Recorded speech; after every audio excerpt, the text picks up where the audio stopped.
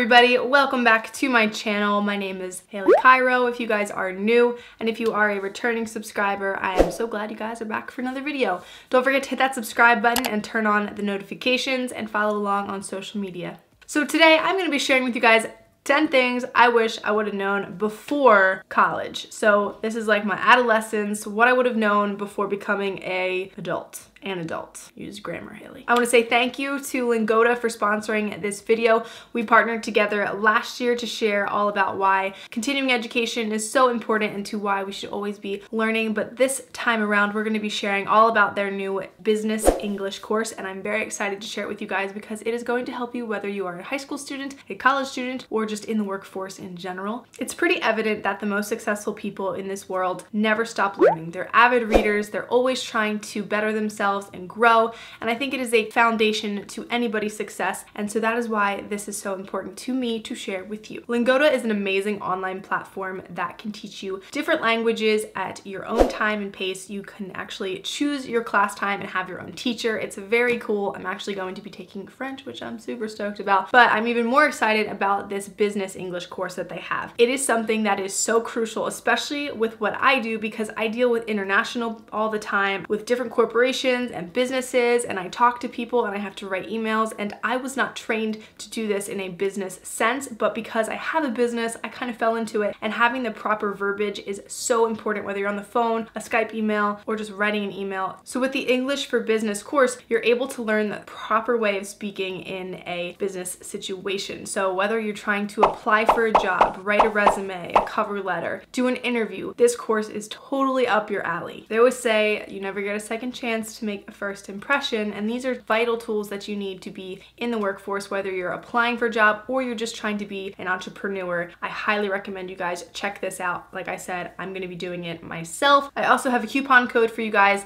and I will have all of the links down below. I'm also going to put it here so that way you guys can save some moolah on your first class. Lingoda is also offering you guys a chance to split your courses 10, 20, or 30 classes per month. There are 90 classes in total, but you choose the monthly model that you would like. You can also cancel before you finish the 90 classes. They're all going to be taught by qualified native speakers, and you can book classes 24 7, no matter if you need an early morning, on the weekends, or late at night. There is going to be a class for you, and you will be having free access to the learning material. If you have any questions about if you're qualified enough for this class, they recommend that you at least have a B1 English speaking level. You guys can also sign up for a free one hour trial class with a teacher. I'll have links down below. The second thing I wish I would have learned was time management. I was definitely somebody who had to kind of structure my own day. My parents were very busy and my mom was sick when I was growing up. So my adolescence was very like scattered. We didn't have a lot of routine. And so now as an adult, I crave routine. I have to be super structured. I think when you're in high school, you feel like you've got like all this time. When you get out of high school and you're like, why am I so old now? And you don't realize how much you can really get done during the day just by planning it out, even if it's not super structured, but you kind of time block it by maybe morning, afternoon, evening. Of course, you can go hourly, but definitely having better time management skills, setting alarms on my phone. You have so many resources nowadays with phone apps. We didn't always have all that when I was growing up, that it's like impossible to not be in a structured routine. So definitely take advantage of all these resources. I will link a bunch of my planner videos and time management videos down for you guys if you're having trouble getting focused and staying productive. The third thing that I wish I would have done before turning 18 was saving money. I started working at 14 and if I think about even saving 20% of everything I ever made from the time that I'm, I'll be 25 this year, I would have had such a nice little chunk of change.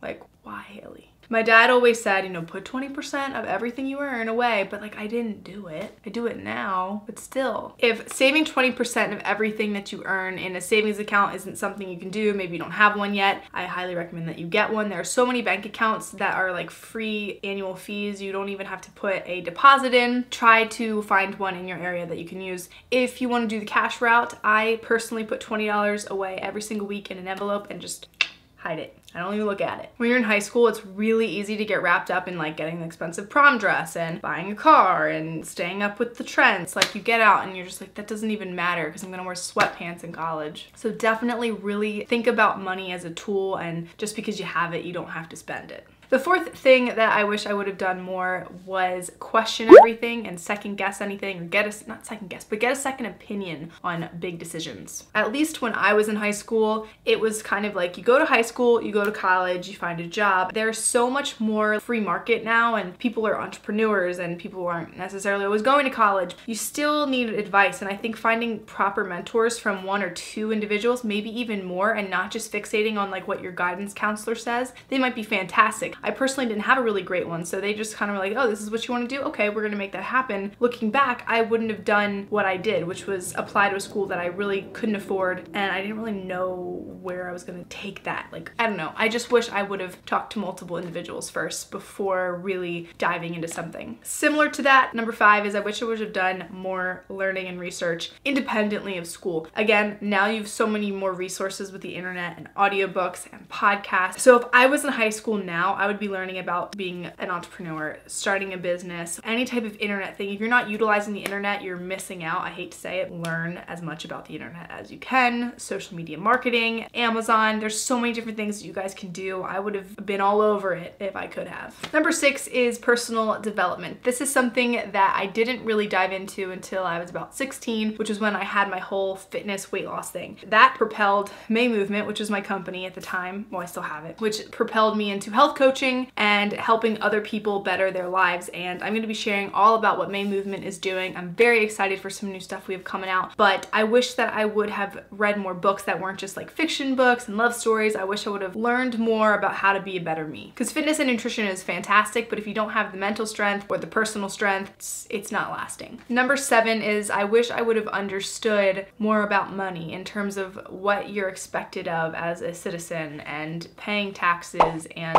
savings accounts and all of that stuff. And again, so many resources out there nowadays that you can totally do your research on this. Start educating yourself on, on money because it's important. Number eight is your domestic independence. This was something I was actually very good at and it always surprised me when I would be with a friend and they like didn't know how to either like change their tire or like, I don't know, boil water, whatever. Make sure you kind of know those simple things in life that when you do get out on your own, you are confident in them. Changing a light bulb or changing the filter in your refrigerator water. I don't know, just kind of basic things that you need to know. And laundry, know how to do laundry. The ninth thing is to realize that it is okay to not necessarily know what you want to do. I was so fixated on college and being a graphic designer and creative director for a company that I was like tunnel vision. I think if I would have had the right guidance and really taken a step back and been like, what do I want to do? I was I was dealing with so much at that time in my life that I really was not in a place to make these types of decisions. So if you're in a place where you feel like you can't make those decisions, it's okay. You've got time, pros and cons of everything. And if you don't really know what it is you want to do, that's okay. But do, that doesn't mean you don't have to stop learning. Take some courses or, you know, get an internship, do something so you can kind of feel the water, test the water. The 10th thing is to prioritize self-care.